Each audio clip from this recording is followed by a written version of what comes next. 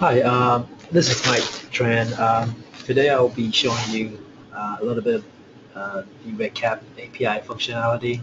Uh, we'll, we will especially look at the uh, REDCap API export method um, and we'll go into a little bit of details on uh, how to get started and where to get help um, and uh, show you a little bit of the uh, coding that's involved in uh, getting data out of REDCap.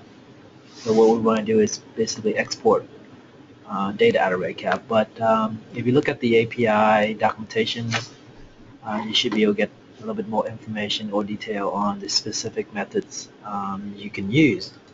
So I'm going to go and slide over the um, page I have up here. All right, so uh, in order, let's start from here. Basically, uh, in order to use uh, REDCap API, you want to uh, know what the capabilities are and what the requirements are, the parameters and uh, details that you have to know to use the API. Uh, what you want to do is uh, once you create your, or actually once you log into REDCap, um, you can just go to slash API slash help and that will get you to the default API documentation. From here, uh, what you can do is go ahead and uh, click on the API examples if you don't, if you want to, you know, just see some of the examples that's available. Uh, I've already downloaded the um, examples you can save.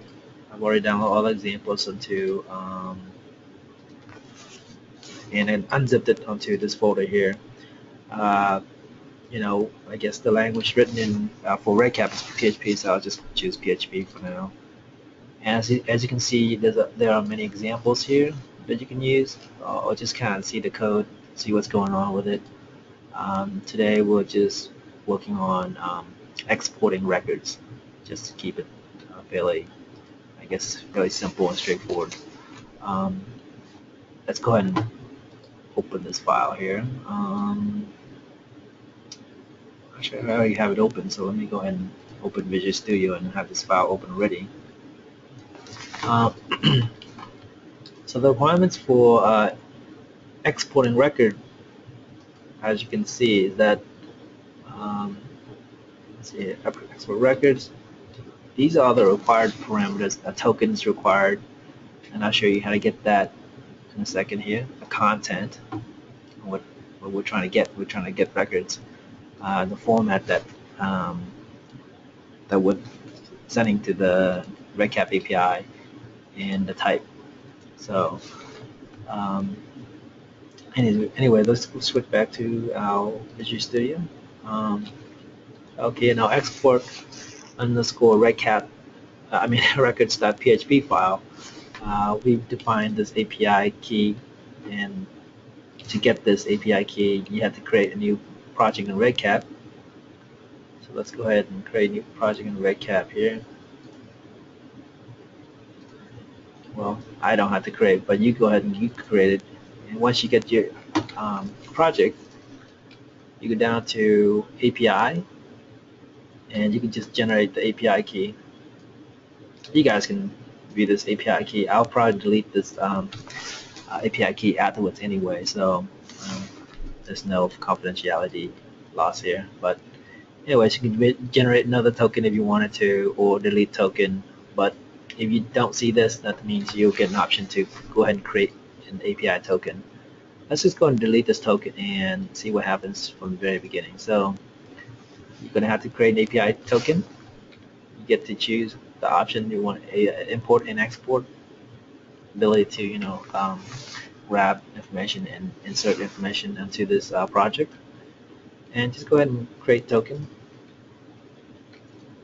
Alright, so once you get your token, you can use that token in your code.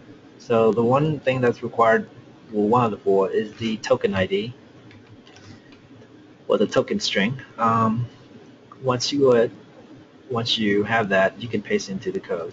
So this is the default, this is the example that they provided to us.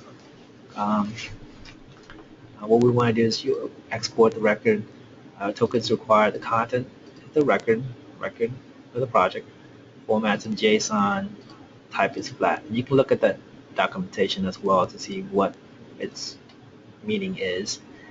uh, and all the detail that's required. Okay. All right, so let's go and um, see what other options I've kind of added here. See, I've added some um, some optional uh, parameters to this uh, request here, this payload.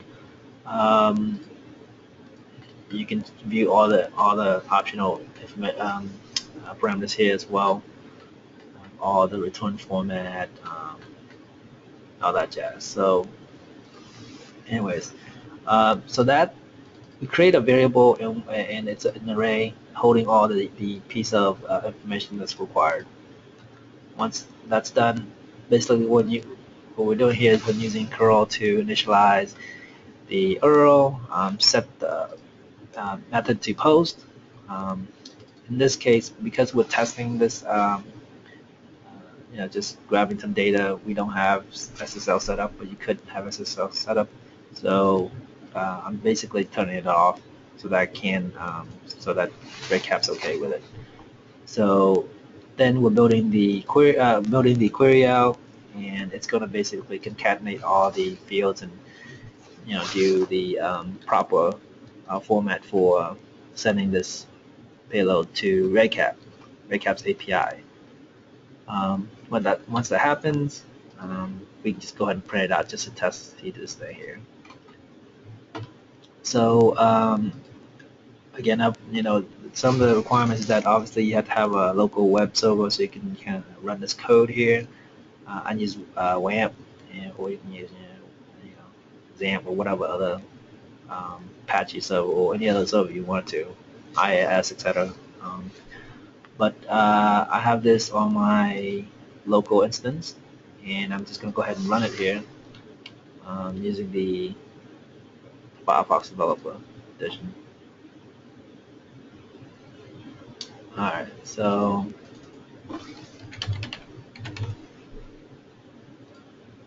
Alright, we'll go ahead and fire that off.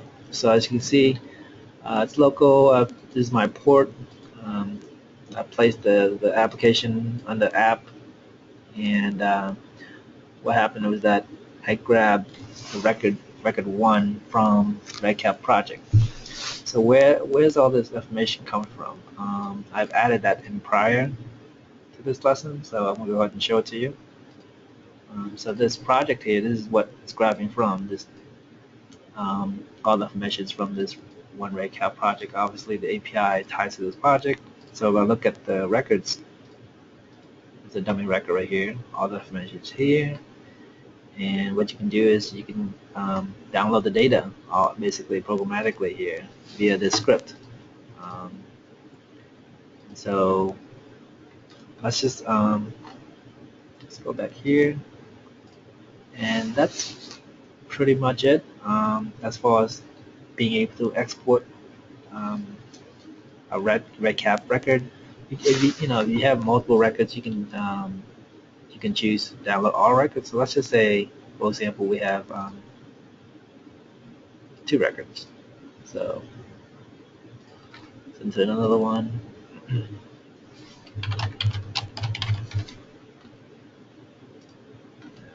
Just some random data. So now we have two records. All right, let's go back to Visual Studio here.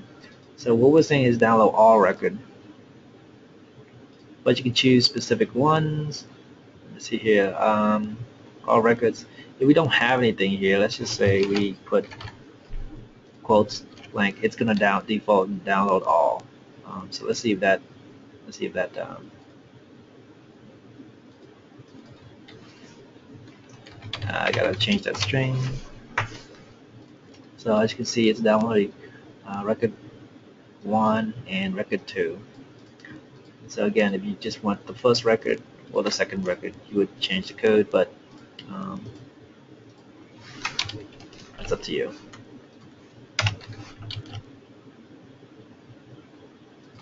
Thing here.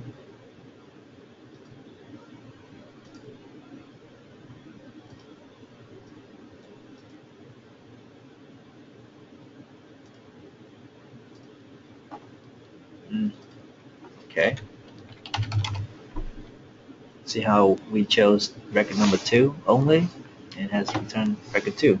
So uh, obviously, you know, these are, as far as this um, tutorial is mainly for uh, developers who are interested in working with uh, REDCap uh, data or um, you know, specific functionality in REDCap. Um, but um, if there are developers that it has interacted with the uh, certain institutions, um, it's a very good way to transfer data or um, get data out of a certain project. Um, anyways, if you have any questions or concerns, um, you can email us at uh, redcap at vcu.edu. Um, training is available weekly. Uh, we have it on our research portal page, and you can go here directly to learn about it. Um, we post this information uh, right after our session like today, so um, it's always refresh and change, so this information uh, is not fail. And so just come back and join us. And that's it. Thanks and have a nice day.